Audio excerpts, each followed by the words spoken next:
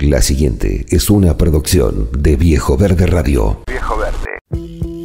Si sos de los que seguís de cerca la problemática ambiental a través de nuestro canal de comunicación Viejo Verde Radio, donde ponemos en valor de forma constante el rol de los bosques urbanos y periurbanos, y sobre todo hoy que estamos en la búsqueda de ciudades sostenibles, Presta atención, porque se viene en Córdoba Capital el sexto Congreso Nacional de Arboricultura y Bosques Urbanos, 3, 4 y 5 de octubre en Ciudad Universitaria. Todavía tenés tiempo de anotarte. Habrá mesas de discusión, talleres al aire libre y visitas guiadas. Mi nombre es Santiago Calvo, yo soy el presidente de la Asociación Argentina de Trabajadores Arboristas con acceso por cuerda.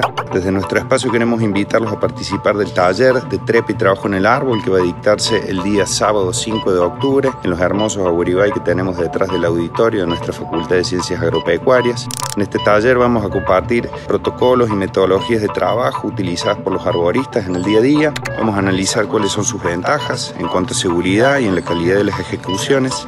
Además también vamos a charlar un poco sobre la realidad de la actividad, cuál es el rol del trabajador arborista en la gestión del bosque urbano y la creciente demanda que existe por personal idóneo y personal capacitado para la ejecución de este tipo de tareas. Esperamos contar con la presencia de todos. Es una excelente oportunidad para la difusión. Un gran saludo. Gracias Santiago. Muy claro, ¿eh? ¿Quién no se trepó a un árbol de chico y hasta hizo un escondite arriba? Pero en el caso de la trepa de árboles, para su poda, se tiene que hacer con técnicas y protocolos. Nada de hacerlos sufrir o dejarlos pudrir por un mal corte.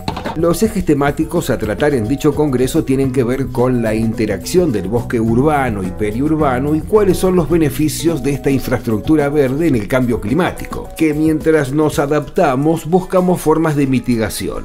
Otro tema es el avance en los conocimientos y las nuevas técnicas aplicables a la arboricultura y a los bosques urbanos. Nosotros siempre decimos, hacete un viejo verde, planta un árbol por año, pero no cualquier árbol. Hay que saber seleccionar especies nativas y exóticas según su función y espacio disponible. La planificación y el manejo de arbolado como la poda, sanidad y la evaluación de riesgo. ¿Son eternos los árboles?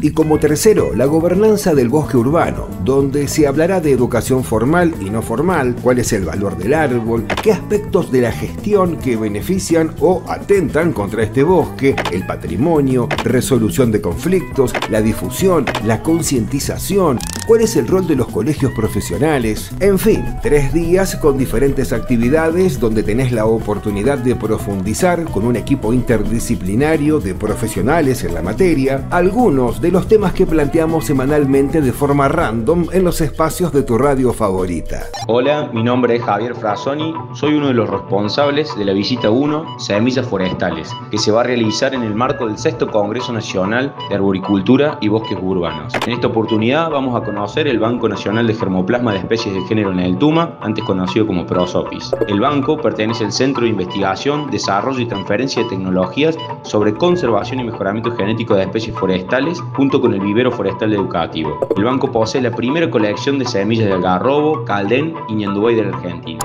Los visitantes tendrán la oportunidad de conocer la sala de trilla, la sala de acondicionamiento y de conservación de germoplasma. En esta oportunidad también visitaremos el laboratorio de análisis de semilla, investigación, docencia y servicios. En esta visita se abordará la problemática de cómo germinar semillas en nuestros bosques nativos sin envejecer en el intento. Los esperamos. Estas diversas actividades se van a desarrollar de forma paralela a las presentaciones que se van a dar en el auditorio anfiteatro de la Reforma, por lo cual es recomendable revisar el programa antes de inscribirse, ya que estas actividades tienen un cupo máximo. No es cuestión de quitarle el lugar a otro que sí puede ir. Además, en la web oficial tenés ofertas de alojamiento en hoteles céntricos cerca del auditorio o si sos amante de la naturaleza podés acampar en el último gran pulmón verde de Córdoba capital, la Reserva Parque San Martín. Tenés tiempo de anotarte hasta el 30 de septiembre poniendo en el buscador. Sexto Congreso Nacional de Arboricultura y Bosques Urbanos, 3, 4 y 5 de octubre. Si estamos en la búsqueda de ciudades sostenibles, los bosques son fundamentales, por lo cual deben ser muy bien tratados. Viejo Verde Radio, comunicación para la restauración ambiental. Seguimos en las redes sociales Viejo Verde Radio o en viejoverderadio.com.ar.